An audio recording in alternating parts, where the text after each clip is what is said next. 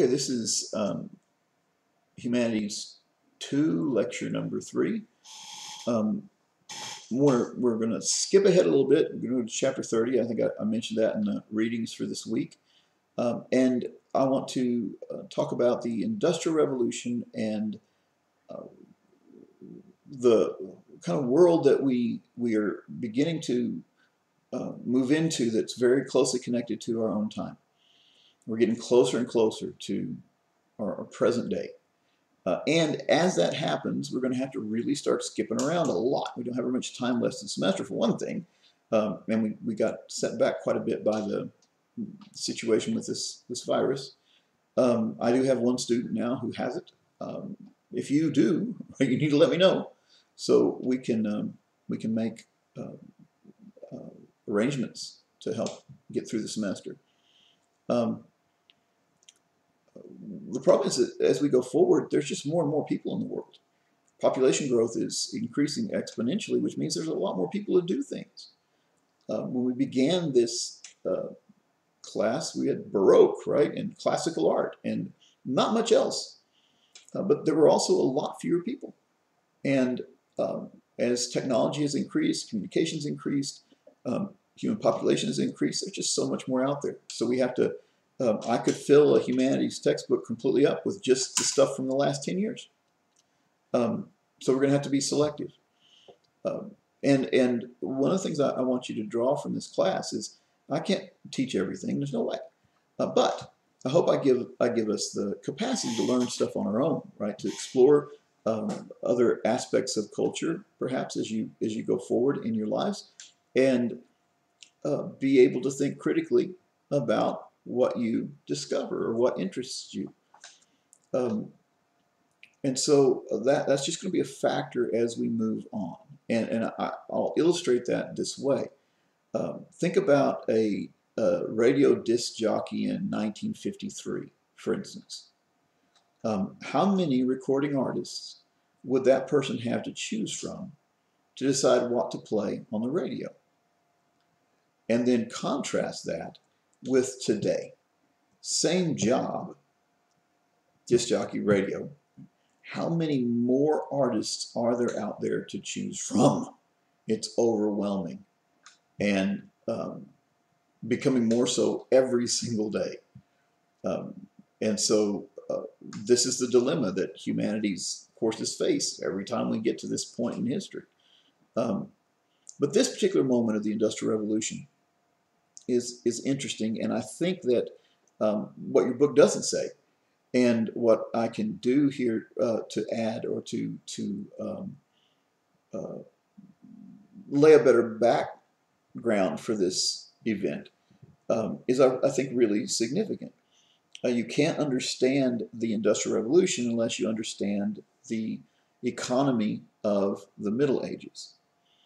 Uh, when Europe was united under Christianity before the Reformation, uh, when the only church there was was the Catholic Church, the Roman Catholic Church with the Pope in Rome. Um, humanity had solved, well, humanity, European humanity, had solved a basic problem in human existence. And they were the only culture that solved this problem up to that point. And the problem is, how does the work of the world get done? The reality of slavery is a backdrop to everything we have studied up to this point. Well, in humanities class in general, especially if we go, if you have my humanities one class, you go all the way back to prehistory. Slavery is a nearly universal fact of the human condition all the way up through um, the fall of Rome.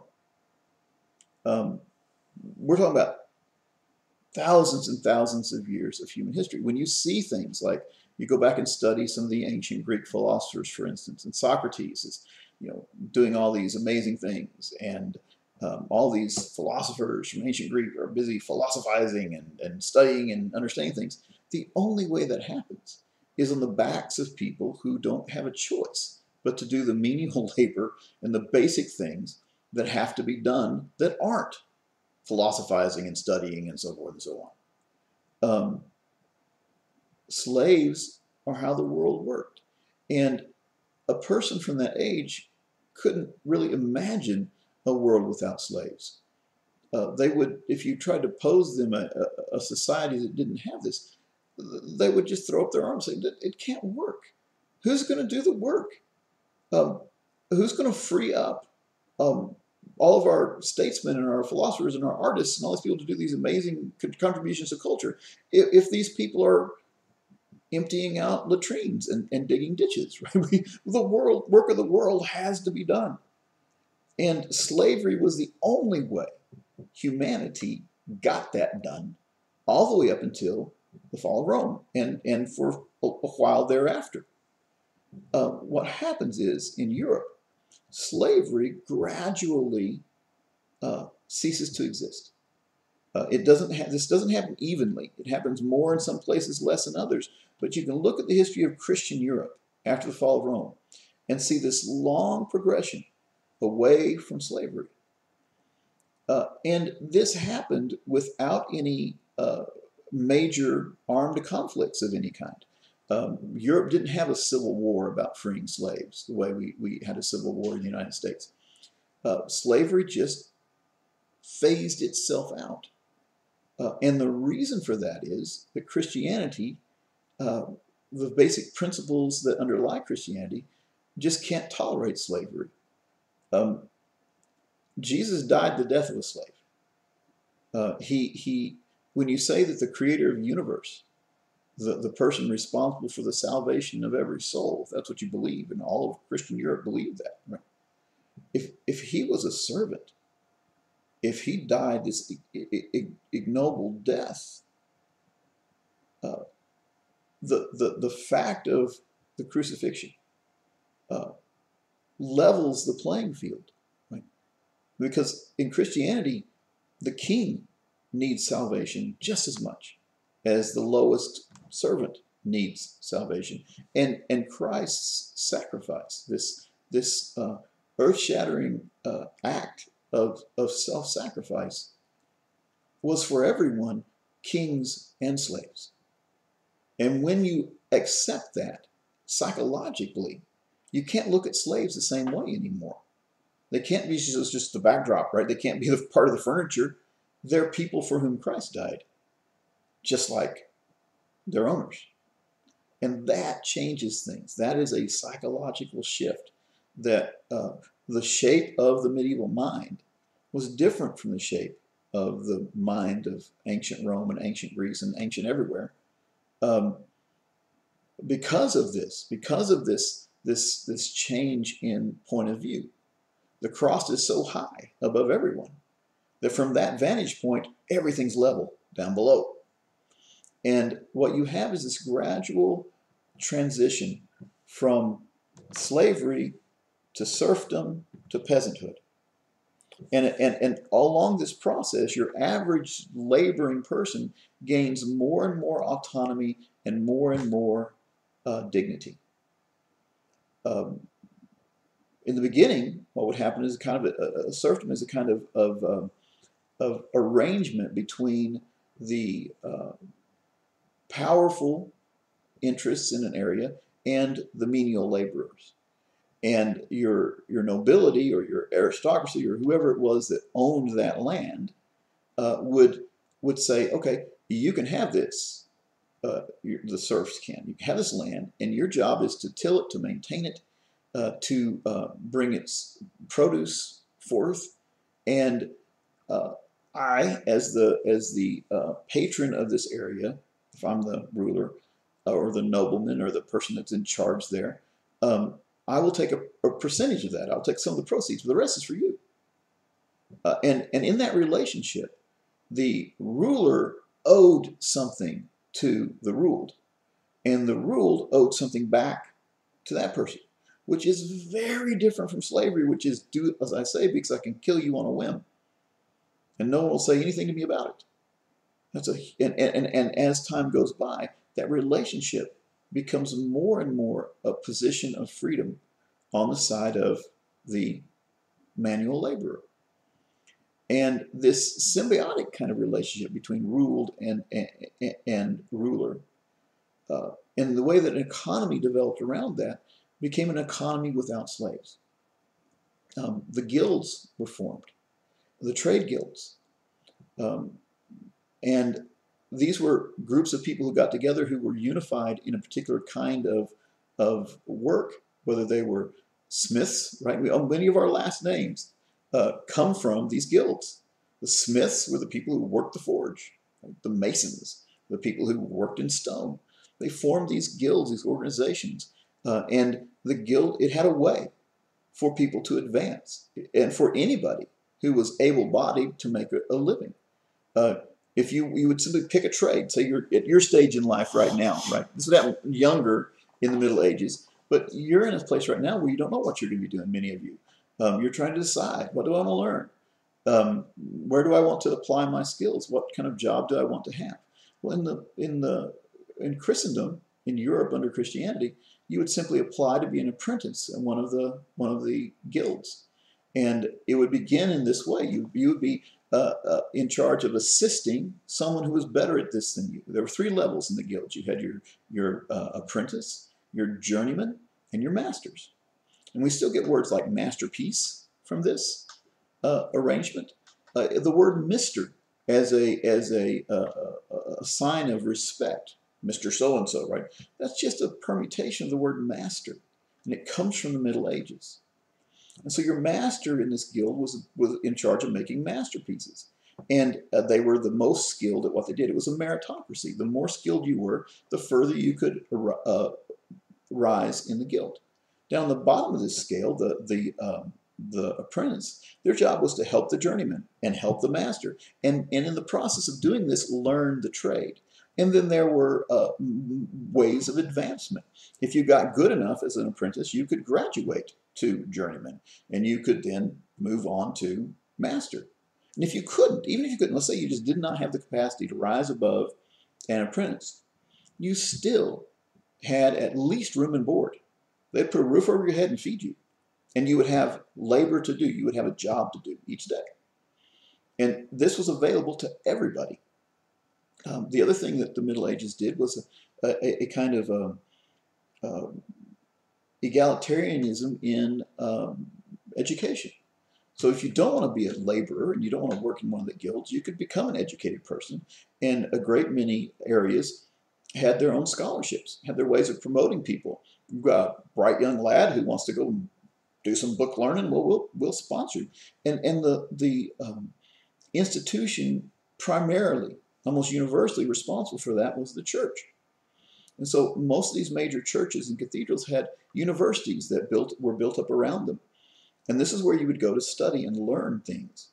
Uh, once again, this was available to most people if they had the talent to do it. So there was an avenue of advancement and a way to um, uh, make a living and keep body and soul together uh, for everybody in medieval culture. Uh, now, there's a lot of horrible things about the Dark Ages. The Black Death, right? Not understanding hygiene and germ theory and all kinds of stuff, right? But that problem didn't exist. How do we get the world's work done? How do we keep people fed and clothed and sheltered? They solved that problem. Um, for those that were the absolute destitute, the people who were mentally handicapped or physically handicapped, or there was some circumstance, the church provided uh, sustenance for them. Uh, everywhere in Europe, and you have this this thing right there. Is, this is before the Reformation, so the church, the Roman Catholic Church, owns enormous estates and land and materials and resources in all these different places in Europe. And uh, part of every monastery's job, for instance, monasteries where monks get together, right, and hang out. There's a, place where they. Still have them around. Uh, but part of every monastery's job was to provide for those who were destitute. And so the tithes that came into the church, the people paying their tithes to keep church, a big percentage of that went directly to keeping taking care of the people who were um, um, in, indigent and and un, incapable of making a living. Uh, the, uh, the, church also had enormous lands which were called common land. Um, our, we get our word commoner from this, or that's just common, right? The common lands uh, were, were uh, good land, arable land, land you could grow stuff on, land you could hunt on, land that had uh, water, fresh water on it. Uh, uh, and at the very least, and this land was available to everybody. So this was set aside specifically for other for people to use in common. And if you were just absolutely destitute, you could go out there in the commons and fish and hunt for your food. Uh, you could grow a garden there. You could build a house there. Um, it's going to be temporary, but in some of these temporary houses, they became places where people just hung out for. that's where they lived, and and and this was um, the way that that Christendom solved this problem. And the reason I have to use this as a backdrop is we've got to know uh, how the problem arises again. So the reformers in the Reformation, the Protestant Reformation, who who smashed Christendom apart and, and divided Christianity up into these all these different denominations. Uh, a great deal of impetus for that movement came from the nobility and the uh, monarchy of various places. And I'm going to use England as a as my primary example, but this thing kind of repeated itself throughout Europe. Um, Henry VIII was the King of England at the time of the Reformation. He wanted to divorce Catherine of Aragon, who was his queen and his wife, um, and marry Anne Boleyn. The Pope said, no, not annulling your marriage to Catherine of Aragon. It's a legitimate marriage. You can't just throw her aside like this. Uh, Henry decides to rebel and side with the Protestants because that's going to get him out from under the uh, yoke of the Catholic Church. He will be able to divorce Catherine of Aragon and marry Boleyn. And he latched onto a, a, an idea that was current during the Reformation of the divine right of kings. One of the arguments of the reformers was that it wasn't the Pope who was supposed to be the head of the church. It was the king of every nation that was supposed to be the head of the church. So Henry, by siding with this idea, gets out from under the Pope's authority and become he becomes the, the authority. So of course he's going to annul his marriage and and and go ahead with what he wants to do. But uh, you know, then that was Henry's personal impetus towards that move. But coinciding with that is that the church has all of this material, all of these resources, all of this land. They have tremendous wealth in England and everywhere else. And Henry got his nobility to back his move against the church by taking that stuff away from the church. Because remember, now Henry's the head of the church. He can do whatever he wants to with what is his now. And he divides this stuff up with the nobility, with the people who backed him. He makes all of his friends and all the people who supported him uh, fabulously rich off of the church's property. Uh, and what they didn't realize they were laying an axe to was the tree of prosperity. There's an extended metaphor that had sustained the Middle Ages without slavery. Uh, because immediately these these no, noble people, the, the, the, aristocracy that Henry rewarded with the church's uh, uh, stuff, uh, stopped setting aside large portions of this for the poor and the indigent, stopped giving people um, uh, scholarships to attend their universities. They just took that for themselves. And they cut off from their uh, populace the means of support that people had relied on for centuries. Um, and it left these people with no route to go. Um, and this, this evolves and becomes more and more cruel as time goes by. And it reaches the height of its cruelty in the Industrial Revolution. The, indust- the abuses of the Industrial Revolution are possible because of the loss of the charity of the church. The other thing that, that these new, uh, newly powerful uh, people did was they abolished the guilds because the guilds are a, are a check on their power. If you have a whole trade like the Masons, people who build in stone, united in this organization, they have tremendous power. what happens if they all stop deciding to make stone for you? Um, this was a affront to the new, uh, newly powerful uh, nobility in England and elsewhere. Um, and also, many of these guilds were very religious in, in, in um, very Catholic in their orientation. Each of the guilds would have had their own patron saint, for instance. Um, and uh, they saw themselves as existing under the authority of the church. And when you say, no, the church has no authority, the king has all this authority, the guilds have got to go. And they did. And that left, that cut off the other avenue. So the avenue towards for, for to be an educated person was cut off. The av- avenue for the ordinary person to uh, who is who is uh, unable to make a living, the, the, charity necessary for them was cut off. And then the uh, ability to make a living in any of the trades, it's just, I'm going to start off as a, an apprentice and, and, and move my way up, that was cut off. And when the Industrial Revolution happens, all these people who would have had their own their own cottage industries, right? They're, they're, um, if you were a mason, you'd be building stuff out of stone for people, right? These people are just out of work. And uh, people became, the, the poor got poorer and the rich got richer. And when the Industrial Revolution hits, and suddenly you can have a machine that does the work of several men, um, and you have no labor laws, no no protection for anybody, uh, you end up with these nightmare factories that your book talks about, and Charles Dickens describes in his works. Um, uh, these are brutal and and um, um, the the abuses are are are are unspeakable children being worked 15, 16, 20 hours a day. Uh, the, the law passed by Parliament to make things better, right? So it was worse than this before this law was passed. They finally got around to a little bit of legislation to protect people, and it, it said that um, you had every child. You couldn't. I think it was under nine. You couldn't. You couldn't put children to work in the factories under nine years old. That was better that means that the factories had children that were younger than nine working in them. Um, that you had to uh, uh, give them two hours of education a day, right? Um, it's just brutal. And um, out of this comes a great deal of the horror that we associate with the 20th century um, in a very direct way. Uh, people were basically the world found a way to have slaves again, except uh, without calling them slaves. Uh, I'll give you some examples of some of the abuses. Um, besides the you know brutal long work days, the pay was next to nothing, and some places actually paid you with their own money. Um, the concept of a factory store was uh, invented at this time, and what you did was uh, you own the factory, right? And the workers have to work there, or they're going to starve. Uh, and, and all the laws, the laws in, in England were, were, lined up behind this.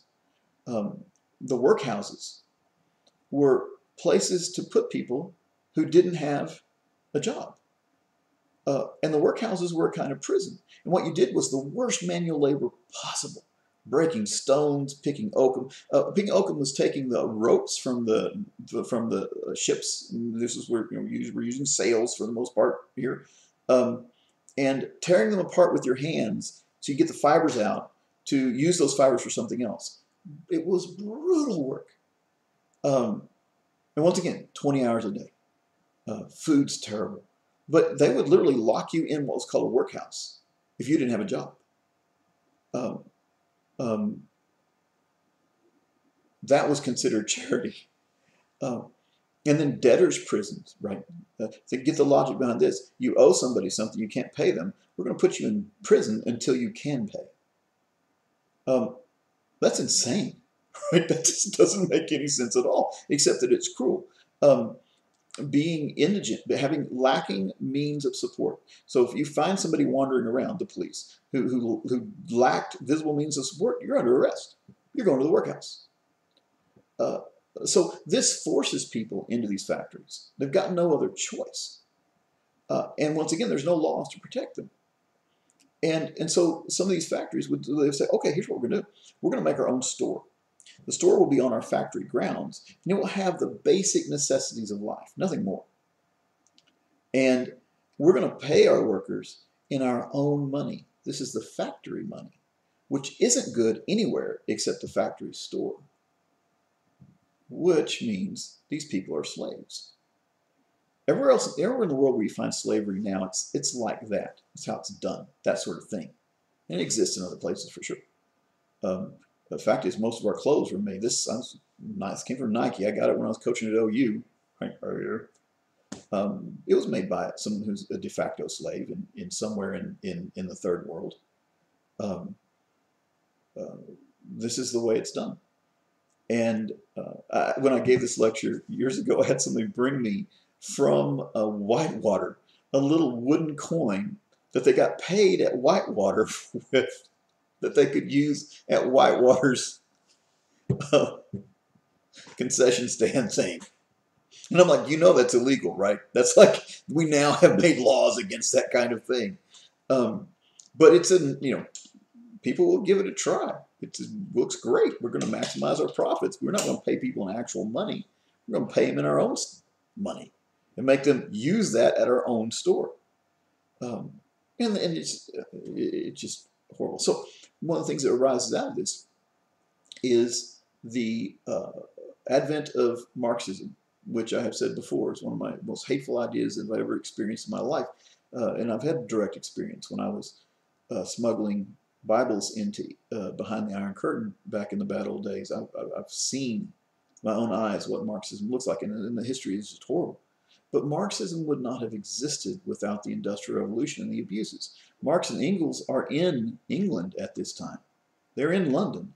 They're looking at the same things that Charles Dickens is describing, and they're saying, this has got to stop. And their answer to this was Marxism. And, and Marxism is a very powerful idea, and at one point it, it nearly destroyed the world. And it may still, it's still out there.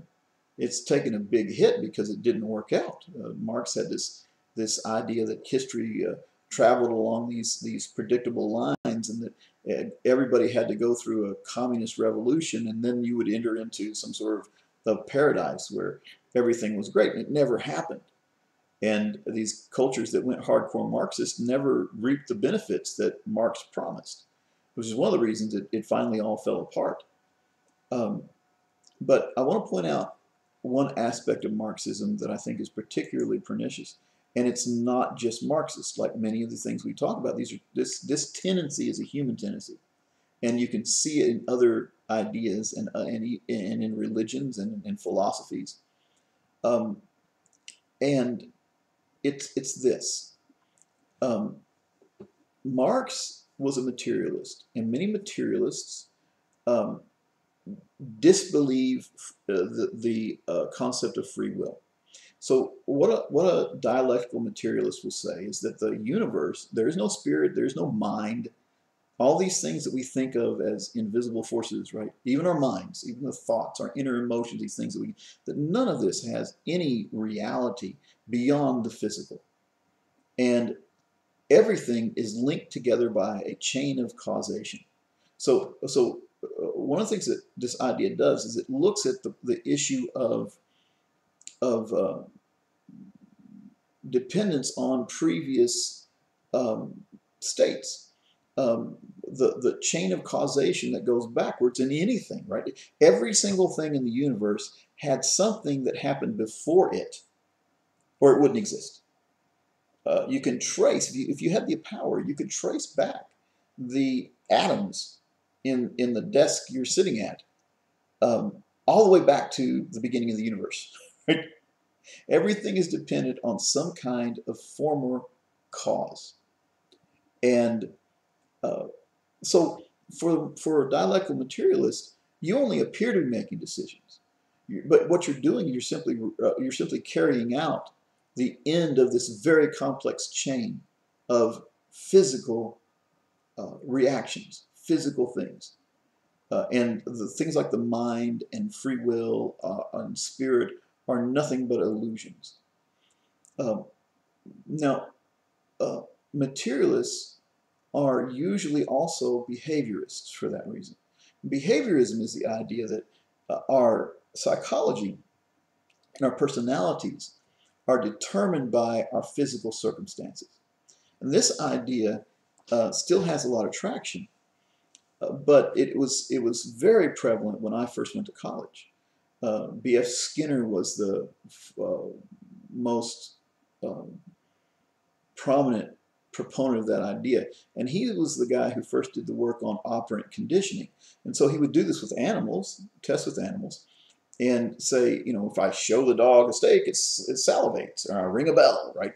And then after a while, if I ring the bell, the dog will salivate because he's associated the bell with the with the steak. It's a basic behaviorist experiment. And uh, what what uh, Skinner said was that human beings are just more complex dogs. Um, if I have the scientific knowledge and ability, give me enough power, give me enough uh, uh, uh, uh of, of, scientific knowledge of these physical causes, I can turn a person into anything I want to. Let me, if I can just manipulate a person's environment with operant conditioning, I can create anything from a mass murderer to a saint because I can manipulate their environment. Um, this idea has a very vital flaw to it. And the flaw is that even the experimenter, right, B.F. Skinner himself, he's also, uh, according to his own theory, simply the result of a chain of causation. And so, how can he say that his thoughts about the universe are valid?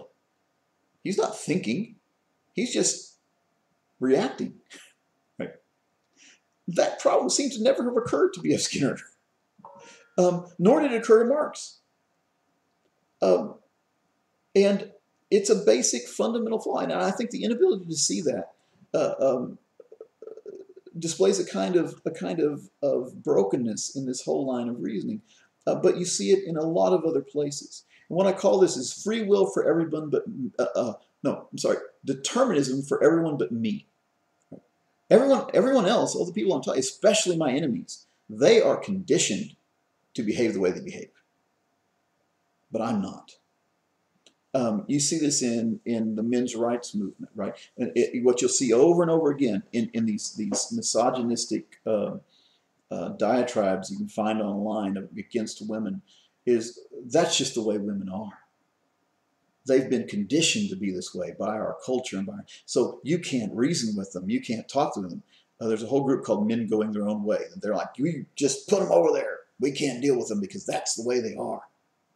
Without ever thinking for one second maybe that's the way i'm the way i am right? Um, uh, determinism for them but not for me.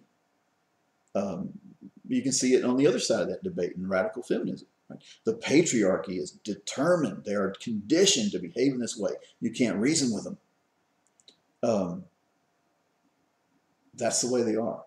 Well, Marx was definitely thinking that way. And that's why his, his, the implementation of his idea has always been with violence. For Marx, Marx was not interested one bit in converting a capitalist into communism. They can't. They are what they are because of these this this chain of causation. Uh, they are what they are because of the culture they've come up in and the the forces, uh, the the uh, the um, impersonal forces of history that have that have driven them into this place. The answer is kill them. And Marxism went about doing that. Everywhere it's ever taken hold has been a place of mass murder. Um, and even when uh, the Soviet Union was at the height of its power, when, when communism had taken over that whole part of the world, they had periodic purges where they would basically bring people in, round them up, and give them a test. Are you a good, you know, communist, or are you are you one of these capitalists? Have you snuck through our net? And if you couldn't prove that you were a, a real communist, one of the one of the workers, they'd kill you. Um, in uh, Cambodia, in Pol Pot's uh, revolution, uh, they killed everyone with glasses. So wearing these would be a death sentence because workers don't need glasses. They're working with their hands. If you have glasses, that means you're, you're one of the capitalists. You're one of the, one of the elites that we have to get rid of. Um, and uh, I've also mentioned many times in class this tendency to divide that bad ideas have. And, and certainly Marxism does that. It says it divides people up between the proletariat and the bourgeoisie. Uh, proletariat, the word proletarian is a Latin word that comes from ancient Rome. Your proletarians in Latin in ancient Rome days were the lowest level of worker, the lowest level. They're just one step above a slave in, uh, in Roman culture. Um, And, and the communist revolution, for Marx, these are the good guys, the workers. His saying, workers of the world unite. You have nothing to lose but your chains. And the bourgeoisie, uh, that's a French word which means inhabited castle or defended castle. Um, and that word is used in Marxist ideology to refer to the people who own stuff, the people who are the enemies, the capitalists, the owners. Um, and for Marx, it was this war. He wanted a war between the working class and these other folks. And it was going to be violence. But what was he looking at, right? He was looking at children as young as five years old being stuffed down chimneys until they died in order to keep the factories running. That was happening on a daily basis in England when he was there um, um, the uh, abuses were criminal and horrific. Your your uh, your average chimney sweeper's lifespan was about four years, and all the chimney sweepers were small children. They liked the chimney sweepers to be as, as young as possible, because the smaller the child is, the smaller of a chimney they can fit into. And they were literally just lowering these children, uh, toddlers, into these chimneys that had been choked up with coal dust and having them clean out the chimneys until they died of black lung. Um, this will ruin Mary Poppins for you, right? The happy chimney sweepers skipping along and singing. It's not the way that worked. Um, and, and so the horror that was Marxism arises out of the horror that was capitalism in that time. And um, the horror of capitalism arose out of the wreck of Christendom. Uh, now, the reformers didn't see this coming, right? They didn't. They didn't weren't taking that long of a view. They didn't say, "Hey, let's get rid of the authority of the Catholic Church for all these law abuses." They they had a point, um, but they did not see this coming. That the problem of slavery would arise again. And of course, in our country, we solved that problem by having slaves again and then and then fought the bloodiest war in human in, in American history. And up to that point in history, the battles of the Civil War were the bloodiest in world history. The casualty rates in the Civil War were magnitudes higher than the wars that came before because of the technology to some degree. Uh, rifles and Gatling guns eventually, and and um, you know these these uh, battlefields were just incredibly uh, bloody, um, and so uh, what I want to what I want to point out here is is what happens if we can take a long view of history and we say, well, what caused this? Where did this come from? Because we can focus on the the problems of capitalism and the problems of Marxism and communism, but we got to know what came before, what led things to this place. And uh, the Protestant Reformation is one of the things that leads to the Marxist revolutions that swept the world in the early part of the 20th century and accounted for several, many, many, many million people dying of violence. Um, now, the artists at this time uh, lined up along these divides, and many of the uh, of the biggest movers and shakers in the art world were lining up behind the Marxist ideas to some degree, and they were definitely uh, lining up behind uh, uh, materialistic ideas.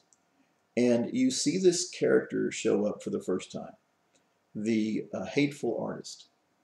Uh, um, the artist whose job is to offend the bourgeoisie.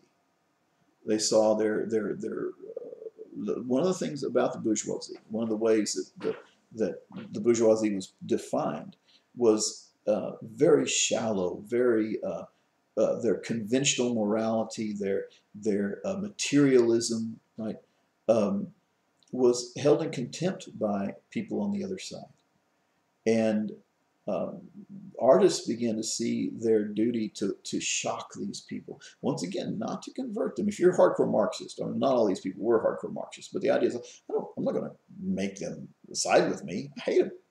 And they can't change. So my art's just going to hurt them. Art intended to, to damage people psychologically. Your book has some of it in it. Um, in the deal on, uh, chapter on Christianity, there's the um, image of the Virgin Mary shot through a glass full of urine. Uh, the artist put the image of Mary into a glass filled with his own urine and took a picture of it. Uh, I'm blanking on the guy's name. He's been doing this forever. Um, uh, that was intended to hurt me, okay, just because I'm Roman Catholic, and and for me, um, uh, the thoughts I have about Mary are some of the most tender and uh, important um, aspects of my personality and and who I am as a human being, and that um, uh, artwork uh, was intended to injure me, right? What did the artist want to happen there? Um, is is he really trying to convince me that Mary is something I shouldn't be I shouldn't find important? No, it's not how you go about arguing with someone or trying to convince someone. Uh, the intent was to offend, and um, it worked, right? Well, that's that that person begins to exist at this time. Uh, in France, they call these guys flaneurs, um, and um, we still have them with us, right? The flaneur was a guy who who basically was a uh, the, the personality of flaneur is someone who's aloof and above it all, someone who isn't going to be uh, uh, caught up in the uh, um, concerns of the of the bourgeoisie and their and their outdated morality and their shallow materialism. I'm above all of this, and I am an artist, and I have sensibilities that other people don't have. Um, hipsters in our own time are a direct descendant of that. Uh, the flaneurs were their great great grandfathers, right? They, they walk around uh, in their refined understanding of art that no one else gets, right? Um, Andy Warhol in the 70s and early 80s. Warhol died. Yeah. Uh, he, he, you know, his, his, the whole persona of him as the aloof artist who's above it all and no one can understand me and um, uh, that that comes out of this this time. You can tell I don't have much patience for these people. I'm sorry.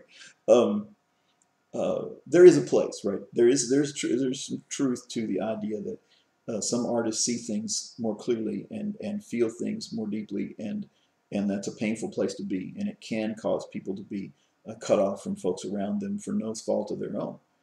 Um, uh, but the flaneur, you also have your poser, right? Your person who's who's uh, putting on this this attitude, uh, and whose intention is to offend and to um, inflict pain on their audience. Um, and uh, uh if you want to see an example of this, look at. Um, I may put this on your on your supplemental material. I, I may not. I don't. I, I, like working here. I don't want to get into much trouble. Um, uh, look up Dave Chappelle's uh, Charlie Murphy's True Hollywood Stories. Uh, it's on YouTube. Um, it's Charlie Murphy, who's the brother of Eddie Murphy, and he tells this story about uh, playing basketball against Prince and his crew, uh, and it's hilarious. Uh, but the the attitude that Prince portrays in that uh, is that of the flaneur. Uh, he's he's floating around these social situations and he's above it all and, and apart from it all because he's an artist. And he says this bores me. Does anyone want to play basketball? Right? That's that's that's that attitude. And and in this time uh, of the industrial revolution and the rise of marxism and the the attitude of artists towards their audience uh, it begins here and once again carries on to our own own day. I call this art against everyone, um, or at least art against the people that I don't like. Um, so that's that. Um, I'll keep throwing up discussion questions. Hopefully we're in a rhythm now. We can keep going here. Remember, I've pushed the due date back for the test um, another week because we're not ready to do it yet. Um, and we will soldier on. Uh, stay uh, healthy and stay safe.